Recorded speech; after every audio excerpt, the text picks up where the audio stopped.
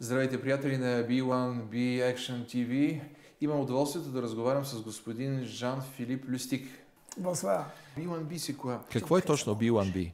Et là, avec cette petite équipe, С този малък екип, с Ерик Карлтон, който е в страната и говори български, което е много важно, решихме, тъй като всички имаме възможности, да стартираме наш канал.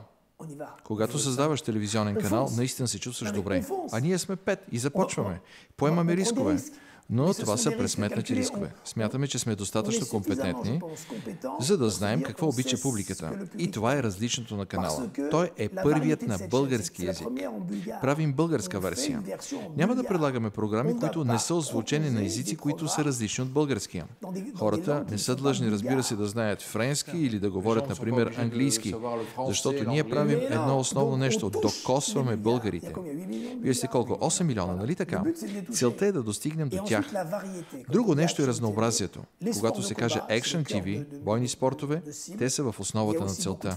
Но има и за дамите. И увеличаваме бройката. Ще има автомобилни състезания. Има цяла една вселена, която не е показвана. Това са състезания, боеве и всякакви други класически спортове, които са свързани с ринга, но също така са премесени с бойните понятия. Има страшно много неща, които могат да се покажат. Паралелно с моментите за почивка, а също така и с елементи на обучение. Romênia Например, карате. Също така става въпрос за самозащита, което е важно за жените. Опитваме се да обогатяваме и смятаме, че ще направим нещата, които другите не са успели да направят. По нашия канал ще предлагаме ексклюзивни събития, които не могат да се видят другаде.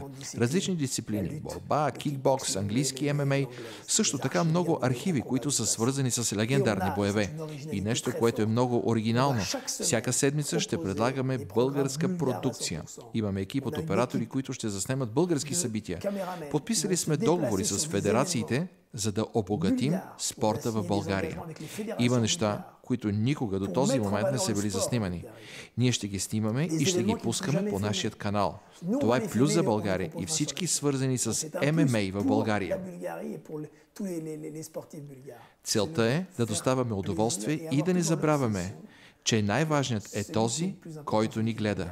Винаги и никога не забравяме това.